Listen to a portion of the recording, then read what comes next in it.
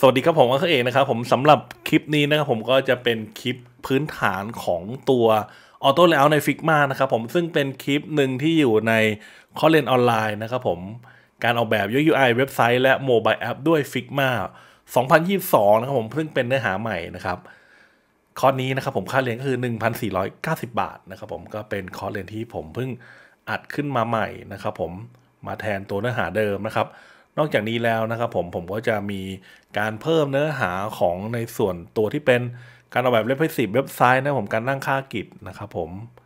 แล้วก็การออกแบบในส่วนของตัวโมบายเว็บไซต์นะครับที่จะเพิ่มเติมในอนาคตให้นะครับผมโอเคครับ ก็ยังไงก็ฝากเขาเรียนออนไลน์ด้วยนะครับผมแล้วก็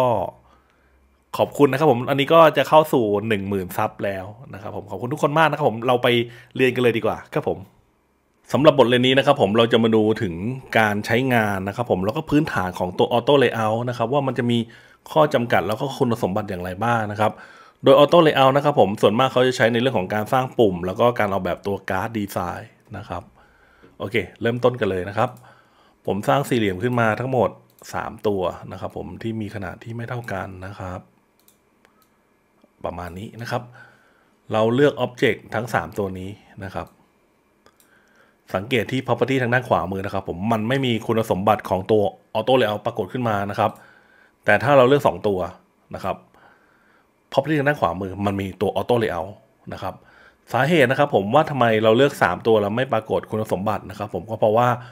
ระยะห่างระหว่างอ็อบเจกต์แต่ละตัวเนี่ยมันมีระยะห่างที่ไม่เท่ากันนั่นเองนะครับ ดังนั้นนะครับผมทำการเลื่อนนะครับ ผมให้ระยะห่างของตัว Object ทั้ง 3 ตัวนี้เนี่ยนะครับผมมันมีระยะห่างที่มันเท่ากันก็คือ 65 พิกเซลนะครับ เราเลือก Object ทั้ง 3 ตัวนี้ใหม่นะครับ สังเกตที่ property ด้านขวามือนะครับผมมันมีตัว Auto Layout ขึ้นมาแล้วนะครับผมอันนี้ก็คือสาเหตุว่าทำไมมันถึงไม่ขึ้นนะครับผมผมว่าเวลาที่เราไปทำงานเองแล้วเนี่ยให้เราเช็คตรงนี้ก่อนนะครับผมว่าตัวระยะห่างของ Object เนี่ยถ้ามันมี 4 ตัวเนี่ยมันก็ต้องเท่ากันนะครับผมประมาณนี้นะครับ เราไปดูก่อนนะครับผมว่าระยะห่างเนี่ยมันเท่ากันหรือเปล่า ถ้ามันเท่ากันเนี่ยมันถึงจะมีตัว Auto Layout ขึ้นมาที่ property ขวามือนะครับ ทีนี้นะครับ ถ้าสมมติว่ามันไม่เท่ากันนะครับ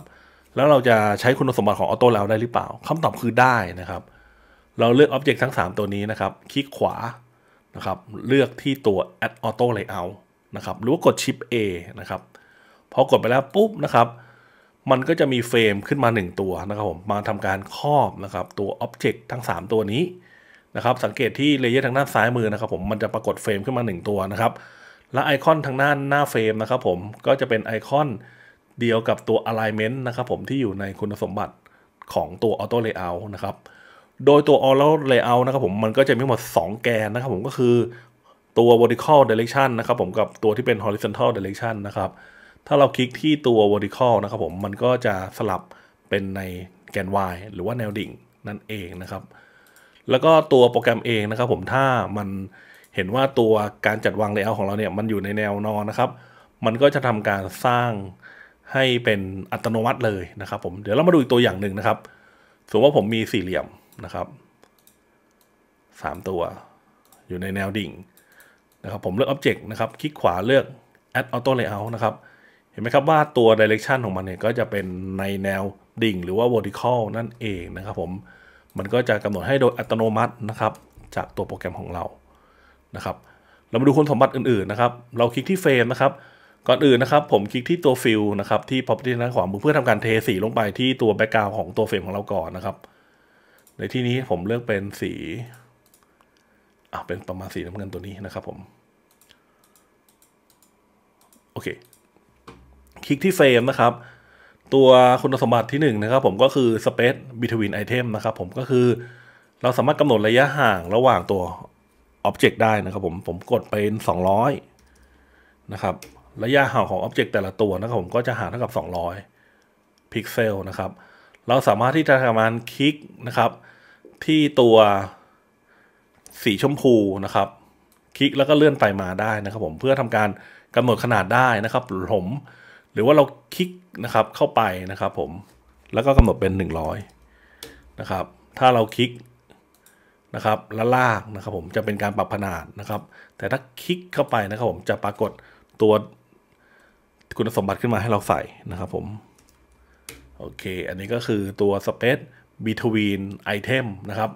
ต่อมานะครับผมก็คือ padding นะครับผม padding คือระยะห่างของ object กับตัวเฟรมนะครับ ทีนี้ผมจากเดิมที่เป็นศูนย์นะครับ ผมผมใส่เป็น50นะครับระยะห่างของ object นะครับ ผมกับตัวเฟรมนะครับ ผมก็จะห่างกันเท่ากับ 50 พิกเซลนะครับ ผมทางด้านซ้ายและขวานะครับ ต่อมานะครับก็คือในส่วนของตัว padding ในแนวตั้งนะครับ ผมผมใส่เป็น 30อ่าโอเค มันก็จะมีระยะห่างนะครับ เท่ากับ 30 พิกเซลนะครับผมทางด้านบนและล่าง โดยมันจะยึดกับตัว Object ที่มีขนาดสูงสุดนั่นเองนะครับผม ทีนี้นอกจากนั้นแล้วนะครับ เรายังสามารถกำหนดตัวแพดดิ้งแต่ละด้านได้นะครับผม โดยการคลิกที่ตัวไอคอนทางด้านขวาสุดนะครับผม Independent Padding นะครับผมพอเราคลิกเข้าไปแล้วนะครับ มันก็จะมีตัว Padding ทางด้านซ้ายนะครับ ทางด้านบนนะครับ ทางด้านขวาแล้วก็ทางด้านล่างนะครับ เราสามารถที่จะ ทำการใส่ค่าที่ไม่เท่ากันได้นะครับ ผม สมมติว่าผมให้ระยะทางด้านบนเป็น 100 นะครับ ด้านล่างเป็น 0 อ่าก็จะชิดขอบนะครับ ผม ทางด้านขวาเป็น 0 แบบนี้ก็ได้นะครับผม เราสามารถที่จะกำหนดระยะห่างของแต่ละด้านได้โดยอัตโนมัตินะครับผม โอเค ทีนี้ผมกลับไปให้มันมีขนาดที่เท่ากันนะครับ ผมก็คือประมาณสัก 30 นะครับ แล้วก็ 30 ทางด้านแนวตั้งและแนวนอนนะครับผม โอเค ทีนี้เรามาดูคุณสมบัติต่อมานะครับผมก็คือ alignment นะครับ alignment นะครับ มันก็จะไม่หมด 9 ช่องนะครับ ผมไล่ไปตั้งแต่บนซ้ายนะครับ ผมพอเราคลิกเข้าไปบนซ้ายนะครับ มันก็จะจัดให้ตัว object ทั้งหมดเนี่ยชิดด้านบนทางด้านซ้ายนะครับ ทีนี้ต่อมานะครับผมผมคลิกที่ตัวบนกลางนะครับ มันไม่ขยับนะครับ บนขวามันก็ไม่ขยับนะครับผม เพราะว่าตัวเฟรมเนี่ยนะครับผมมันมีพื้นที่แค่นี้นะครับผม มันโดนอัดไปด้วยตัวที่เป็น padding แล้วนะครับผม มันไม่มีตัวขนาดที่มันจะทำการขยับตัว Object ที่อยู่ภายในของมันนะครับ วิธีการนะครับผมถ้าเราอยากจะ test นะครับ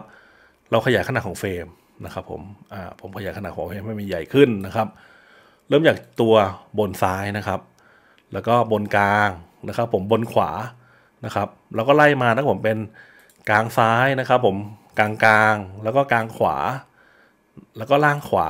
ล่างกลางนะครับ ผมแล้วก็ล่างซ้ายนะครับผมถ้ามันมีพื้นที่พอนะครับ มันก็สามารถที่จะกำหนดตัวคุณสมบัติของ alignment ได้นะครับ ผมอันนี้ก็ลองไปฝึกเล่นดูนะครับ ผม บางคนเนี่ยจะเห็นว่าเอ้ยทำไมมันกดแล้วไม่ไปนะครับ ผมก็เพราะว่าพื้นที่ภายในเฟรมเนี่ยมันมีมันมีเท่ากับตัวระยะห่างของ padding ไปแล้วนะผมก็คือตัว object มันอยู่เต็มพื้นที่ไปแล้วนั่นเองนะครับผมอะทีนี้นะครับผมเรามาดูคุณสมบัติอื่นๆนะครับ เราคลิกที่ตัว advanced layout setting นะครับผมพอเราคลิกเข้าแล้วปุ๊บนะครับมันก็จะมี spacing mode ตัวแรกเลยนะครับผมที่เราใช้กันอยู่นะครับผมที่เป็น default คือ pack นะครับผมพอเราคลิกที่ดับดาวลงมานะครับ มันก็จะมีตัว space between นะครับ space between เนี่ยนะครับผมมันก็จะจัดให้ object เนี่ยอยู่สุดขอบเลยนะครับผมแล้วก็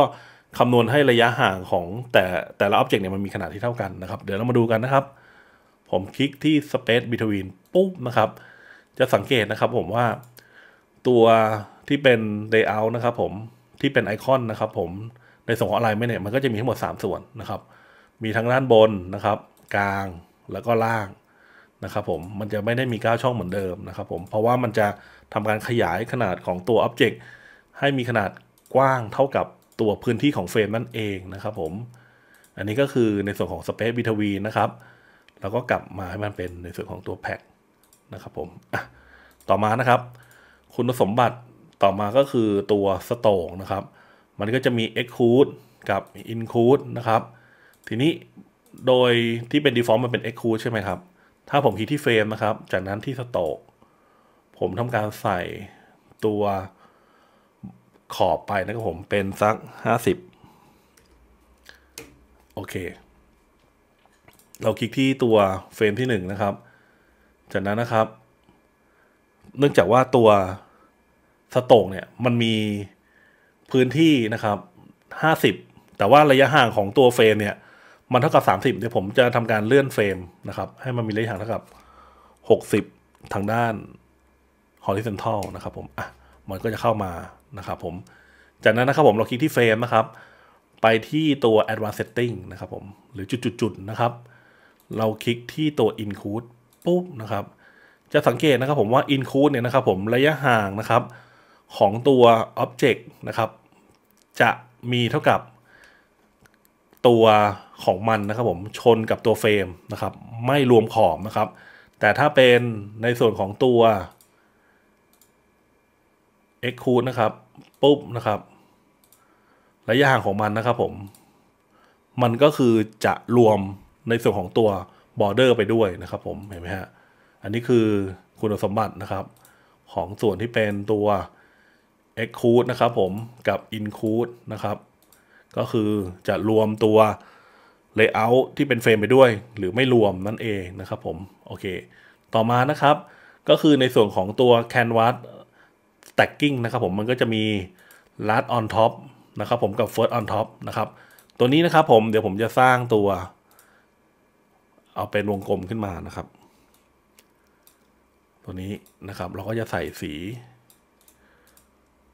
อื่นๆลงไปนะครับ ที่มันแตกต่างกัน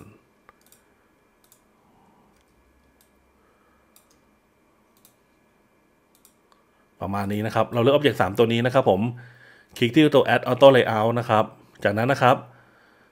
ในการที่จะใช้คุณสมบัติของตัว